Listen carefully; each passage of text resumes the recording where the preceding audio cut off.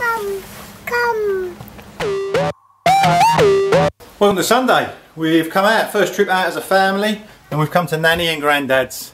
Charles has got them to work already. He's got them sweeping up. What's going on? Under, under. You sweeping under?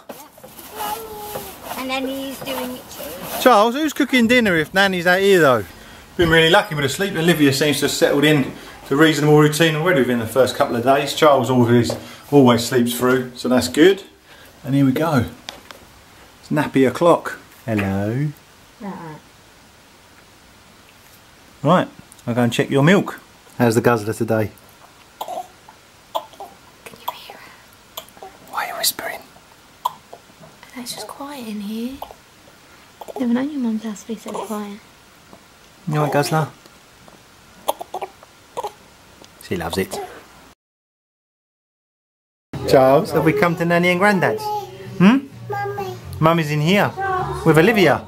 Oh, God. oh, you gorgeous little girl. Aren't she lovely? She is, isn't she? Oh, she's beautiful. hello to Olivia. Oh, she's a lovely baby, aren't you? She reminds you of Elouise with her black hair. Yeah.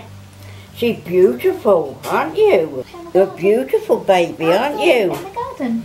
Hey. Mummy, come. Oh, she is. She's gorgeous. isn't She is, she's sweet, isn't she, Mum? She's six pounds thirteen ounces. Is she? Yeah. Oh, you are doing all right, aren't you? Let's see where Charles ended up. Charles? Might be on the barbecue, doing the barbecue. Come. Yeah. Come, come. Where are we going? I'm coming.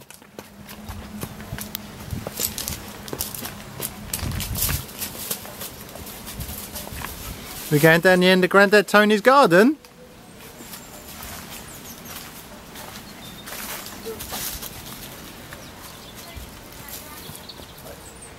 What you found?